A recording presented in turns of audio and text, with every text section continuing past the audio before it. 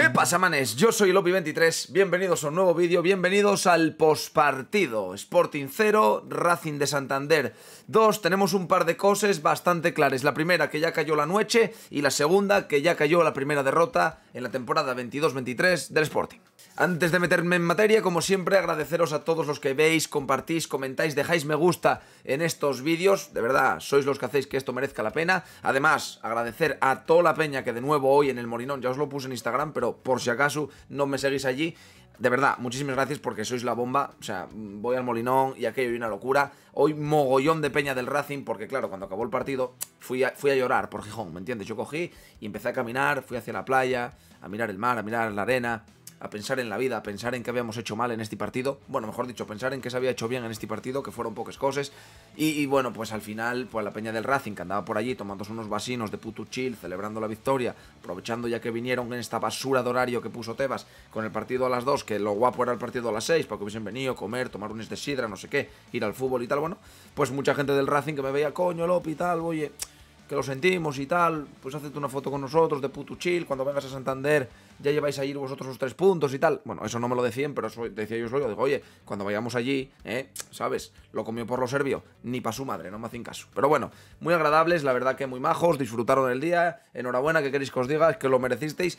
Hoy el partidín, eh, yo ya lo dije, bueno, ya lo dije, no lo visteis aún, pero yo ya lo dije, porque mañana tendréis un vídeo de, digamos, eh, la experiencia, ¿no? Como estos que os vengo subiendo de ir al Molinón y grabar y un poquitín las sensaciones, tipo como los viajes, pero más light. Y justamente es que lo comentaba, que lo veréis mañana, eh, que a mí este partido me pareció una trampa. Este partido me parecía una trampa absoluta y total. Una trampa de les gordes. Un equipo que llega sin marcar ningún gol, con cero puntos, con todo perdido, llega al Molinón y aquí somos los que resucitamos a la peña. Entonces llegado aquí el Racing, oye tíos, tal, no sé qué Manolín Preciado, no sé cuánto, pum, 0-2. 0-2. Y para encima, para mí, mereciéndolo. Pero bueno, vamos a la hora del partido y eso, que muchísimas gracias a todos los que estáis por aquí apoyando y dejando el me gusta y, todo esto. Y los que me seguís en redes sociales, que sois la polla. Partido en el templo, lo que ya os comenté, un horario que a mí personalmente no me gusta mucho, las 2 de la tarde. ¿Por qué? Pues porque, a ver, ni ye por la mañana ni ye por la tarde, ni puedes desayunar fuerte, ni tienes que esperar para comer. Partido de bocadillo, ¿no? Como el de las 9 de la noche, llevar el bocadillo para cenar, pues este, un par de changuichos ahí, porque para encima no me dio por hacer el puto pincho de pechuga con lechuga y mayonesa, ¿entiendes? Dos sandwichos ahí, mal puestos, pues mal empezaba el día. Mal empezaba el día ya con dos sandwichos cuando hay que llevar el pincho de pechuga con lechuga y mayonesa, pero bueno, no pasa nada. Lleguemos allí, eh, la primera parte, bueno, sí que es cierto que podemos sacar alguna ocasión, José Grajera, bueno, Abelardo volvió a cambiar el 11, volvió a cambiar el 11 y, metió a Cristo de nuevo por Zarfino, pasando así 4-4-2, ¿vale? Así 4-4-2, 4-4-1-1, como lo queráis llamar. La verdad que la primera parte ya se vieron bastantes lagunes. Por ejemplo, en el minuto 4, en el minuto 4 de partido, en el corner que es, o sea, donde yo me siento justo debajo, hay un balón dividido. Y Bayuca que el balón cubrió bien el defensa, salió fuera, era saque de banda para el Racing, Yuca casi suelta y una patada a un pibe sin balón. Si lo ve el árbitro y el pibe y un poco eh, tiras ahí como, como que lo mataron y ya en minuto 4 tal con 10. Yuka ya se vio desde el principio del partido que estaba desquiciado. Pues luego mm, demostróse porque tuvo la ocasión probablemente más clara, que fue un mano a mano que no sé si lo deja solo el otro Uros, pero vamos, que tuvo un mano a mano de locos para meter gol. Pues nada, que si el esquís Manolín tuvo, pudo hacer lo que quisiera, cruzarla, vaselina, regatear, lo que quisiera, pues nada. Hizo la de Yuca, la de que si da más de tres toques, pues ya se jode, pues así fue. Tuvo esa que esa era para empatar, ahí ya íbamos perdiendo 0-1. Sí que es verdad que pienso que el gol de ellos viene un poquitín de una sucesión de fallos donde Grajera se duerme en el medio, se duerme con la pelota, la pierde, Cali llega al corte, intenta dar un pase, en vez de Ferruchala intenta dar un pase, cae al lateral derecho de ellos, creo, y el lateral derecho de ellos mete el pase de subida a la espalda. Dejó solo al Sekugasama delante de, de, Yuk, de de Diego, y bueno, pues evidentemente mm, hizo lo que tiene que hacer el delantero, que ya definir, sin complicarse. Metió gol. Luego, el segundo gol del Racing, vale, llega en el 94, pero es que previamente vuelve a parar Diego Mariño un mano a mano, otro fallo, otra sucesión de fallos cerca del final, donde salva Diego Mariño un mano a mano y la parada salvadora mítica que hace Diego. Mariño suele hacer una parada de estés de vez en cuando, cada partido habitualmente, pues la de ese partido fue ahí. Y luego, bueno, pues para mí el que más peligro casi que llevó del Sporting fue Grajera, en un tiro desde fuera del área que hizo una buena parada y luego una jugada dentro del área que tira grajera para el portero, rebota, tira con la zurda, saca y la otra debajo palos. O sea, fue una ocasión que dices tú, si no entra esta, no entra ninguna. Para encima, también ya empezó el partido de una forma un poco complicada, con Cote. Lesionado Cote. Esperemos que no sepa mucho. Cote creo que se lesionó como en el minuto. Pues no te voy a decir exacto, pero mitad de la primera parte. Jodióse Cote, entró Diego. Que bueno, para mí Diego hizo buen partido. Que fíjate, entró en un partido complicado, entró en una situación sin calentar, etcétera, etcétera. Hizo un buen partido. Tiró un centro, por ejemplo, tiró un centro, Diego, muy bueno. Iba, o sea, de verdad, un caramelo, un auténtico caramelo. Pero ¿qué pasa? Que fue para la cabeza de Yuka que lo que hizo fue, pues, ¿sabes? Lo, que hace de cabeza Yuka, que bueno, bueno, en fin. Nada, que Yuka hoy notaba, chavales, hoy Yuka notaba. La primera parte, muy, muy, muy, muy floja. Un partido donde sí, vale, tuvimos cierto control. Eh, para mí, eh, Grajera y Pedro Pedro hizo un partidazo, ¿vale? Pero vi los muy solos. Yo no sé si fue que se acostumbraron a tener la semana pasada Zarfino haciendo otro tipo de coberturas o lo que fuera, pero no había, no había sincronización, digamos. La defensa Vila bastante bien, bastante sólida. Pero luego, Pedro y Grajera veía los muy solos y luego Otero hoy no tuvo su día, Keipo hoy no tuvo su día, Yuka hoy no tuvo su día, Cristo hoy no tuvo su día y Abelardo tampoco tuvo su día. Porque luego Abelardo, vale, encuentrase con lo de Cote, hace un cambio forzado. Al descanso lo que se estaba viendo era que Pombo era la mules llaves. Pombo hoy parecía aquello Zidane. Era la mules llaves en medio del campo, Pombo. Podía hacer lo que quisiera, como quisiera, donde quisiera, cuando quisiera, con quien quisiera. O sea, Pombo decía, tú, un hijo, pum, embarazado, tú, no sé qué, un caño, pum, lo que quieras. Era el amo Pombo. Pombo hoy dice, vengo aquí a hacer una masterclass. Este partido, hazte Pombo. Finales de agosto, y hoy llega, pum, clausulazo del Newcastle. Llega el jeque del Newcastle y te compra Pombo. Partidazo de Pombo de la hostia. Pero, pero bueno, y lo que hay. Entonces, estábamos viendo que en medio del campo no éramos quien a segar, no éramos quien a segar ahí, no éramos quien a segar.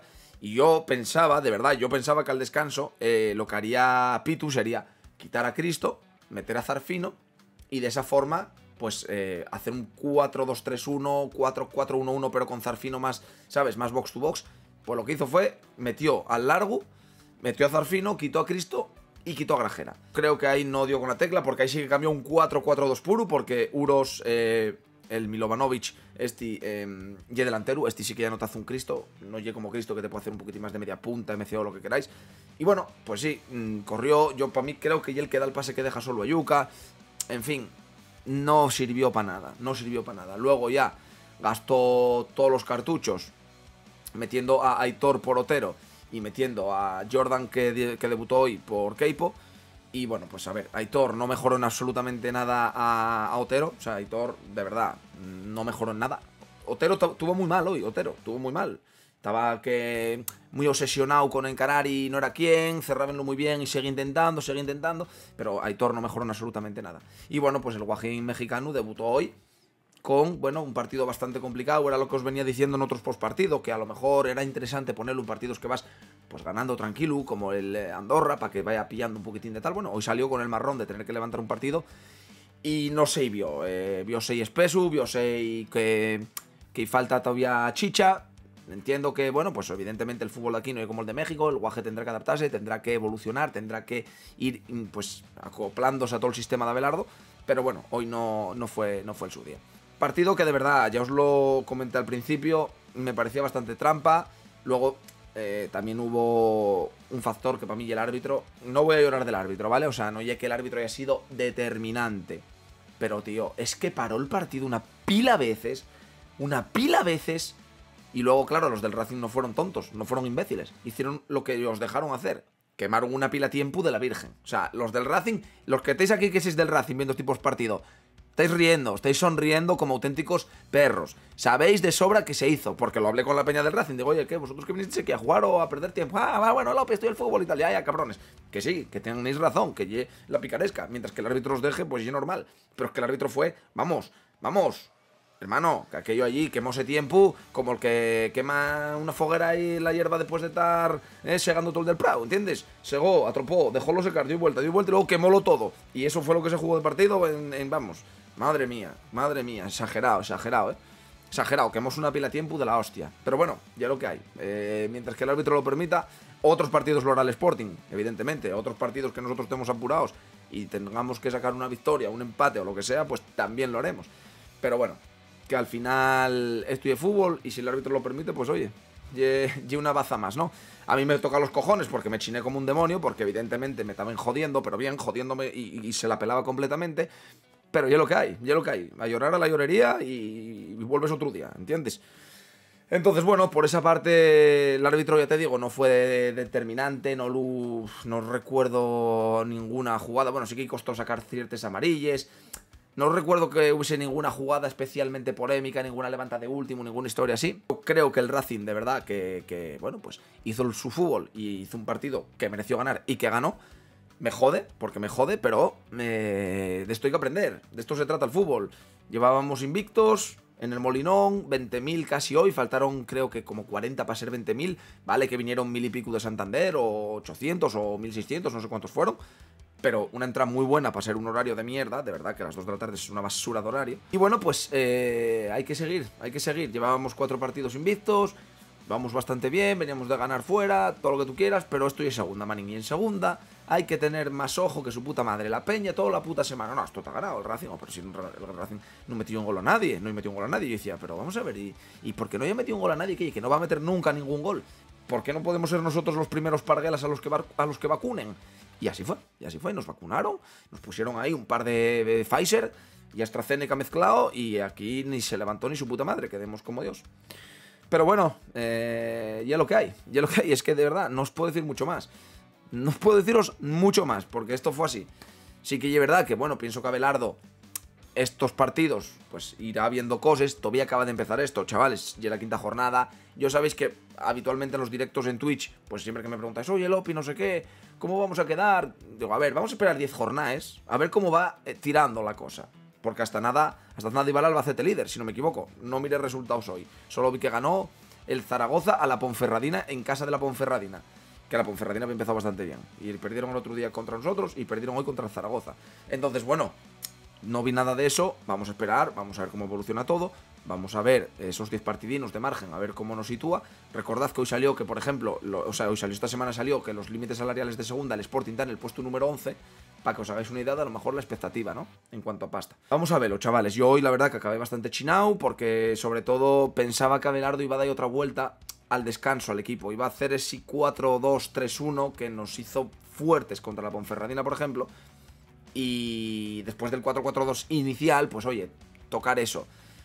Lo que está claro ya es que, por ejemplo, cuando Yuka no sale como un partido como hoy, que está desquiciado y que resta más de lo que suma, porque hoy realmente Yuka no aportó absolutamente nada más que fallos, pues a lo mejor, oye, lo que hay que hacer y pues no sacrificar el equipo para un 4-4-2 metiendo al largo, a Milo, a los Truros, y a lo mejor, oye, pues mantener un 4-2-3-1, pero pudiendo quitar a Yuka, que Yuka, por ejemplo, dentro de dos semanas no está. Tampoco pasa nada. ¿Sabes? Hoy Yuka se veía que notaba. Que se veía también que notaba a Cristo. Se veía que también que notaba Otero. Se veía que también que notaba. ¿Sabes? Que hay muchos jugadores que hoy yo no sé por qué afectónos el virus del retraso. Y, fue así. Pero bueno, oye, no pasa nada. Mientras que nos dé solo un partido de cada muchos, mejor. Pero ahí tiene que traer Belardo fino. Ahí tiene que traer Belardo fino. Y coño, si ves que Pombo te está haciendo 17 hijos, ¿eh? uno con cada padre, o sea, uno con cada madre, haciendo y madres a todos los jugadores del Sporting, pues coño, mira a ver, tendrás que hacer algo meter a un fulano que revienta el pombo, meter a un fulano que cubra pombo, o por ejemplo, forrar el medio del campo. También te digo que, claro, tú mires al banquillo y dices, hostia, tengo que meter a alguien por Otero y tienes que sacar a Hitor. Claro, si tuviese a Johnny, por ejemplo, o en el medio del campo me están jodiendo, pues a lo mejor si no tuviese lesionado Rivera, ¿Entiendes? Que sí, que es verdad que nos falten jugadores que todavía pueden ser muy importantes. Que se lesiona Cote y una putada que Cote y medio equipo, Cote. Cote y medio equipo. En un partido que te ha atascado Cote y medio equipo. Porque sabes que todo sirve en una Cote y Cote te pone un melón. ¿Eh? Un caramelín ahí para que la pille quien quiera. Pero bueno, vamos a seguir. No me quiero liar mucho más. Em, mañana tendréis otro vídeo, ya os lo dije, de pues un poquitín grabado desde el Molinón, un poquitín, bueno, os enseñaré cómo va la obra de los videomarcadores, veréis un poquitín el ambiente, veréis un poquitín a la afición del Racing, veréis un poquitín Gijón, en fin.